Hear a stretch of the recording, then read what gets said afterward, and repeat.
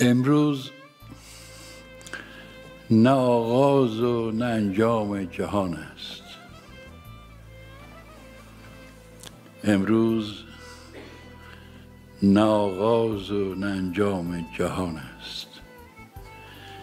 ای بس غم و شادی که پس پرده نهان است.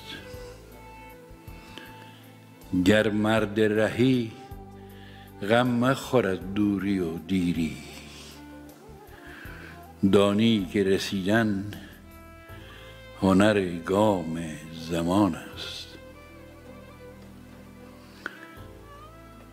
تو رهرو دیرینه سرمنزل عشقی. بنگر که ز خون تو به هر گام نشان است. آبی که برآسود زمینش بخورد زود.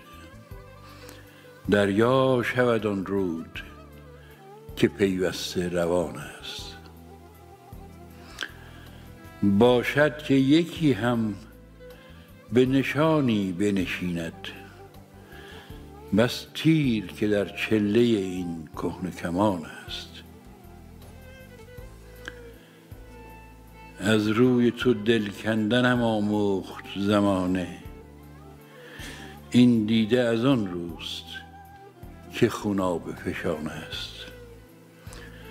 دردا و دریغا که در این بازی خونین. بازیچه ایام؟ دل آدمیان است. دل بر گذر قافله لال و گل داشت این دشت که پامال سواران خزان است. روزی که بجنبد نفس باد بهاری بینی که گل و سبزه کران تا به کران است. ای کوه تو فریاد من امروز شنیدی.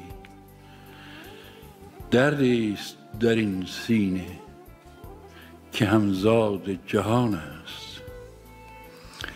از داد و وداد آن همه گفتند و نکردند. یا رب چقدر فاصله دست و زبان است.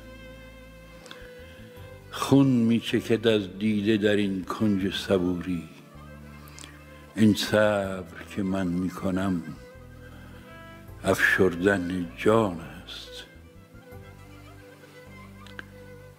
از راه مرو سایه که آن گوهر مقصود گنجی است که اندر قدم راه روان است.